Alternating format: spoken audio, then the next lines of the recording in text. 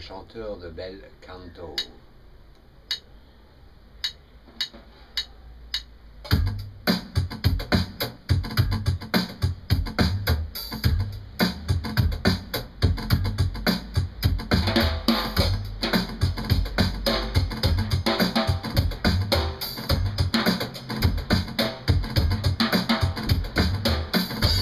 Du bel canto dans les bars de Hong.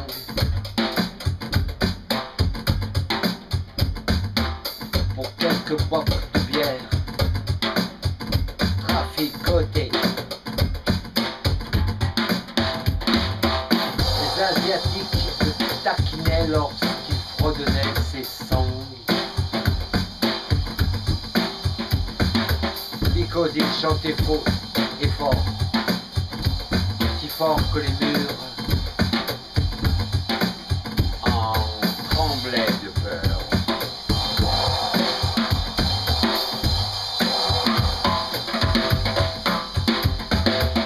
Un jour de marché, le petit bar était bourré de jaune cassé.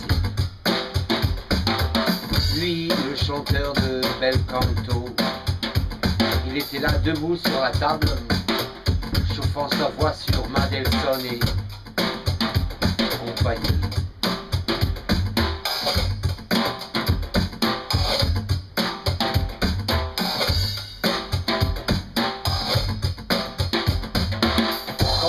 La porte de l'établissement vola en un éclat éclair. On vit entrer un samouraï tout droit sorti des sept mercenaires.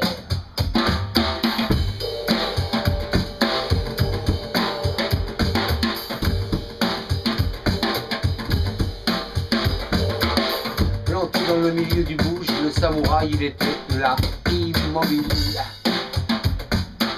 tel une mayonnaise.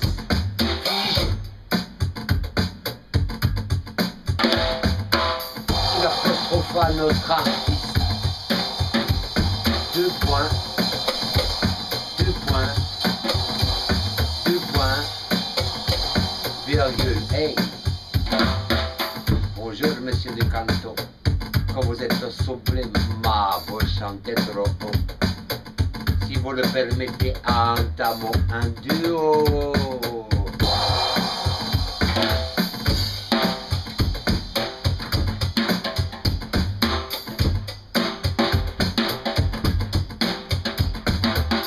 Le fier guerrier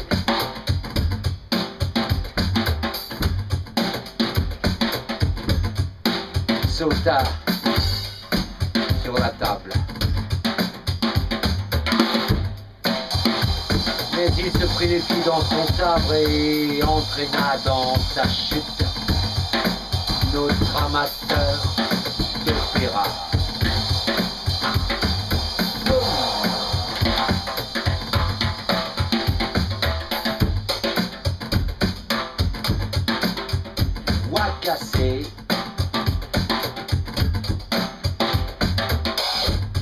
Clients du bar respirèrent et purent enfin déguster leur demi en entier sans trembler comme des malades.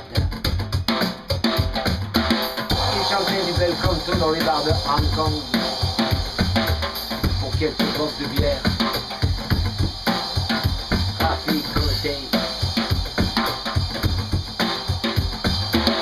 Le pauvre garçon chante maintenant des berceuses dans les crèches d'Honolulu pour quelques verres de lait.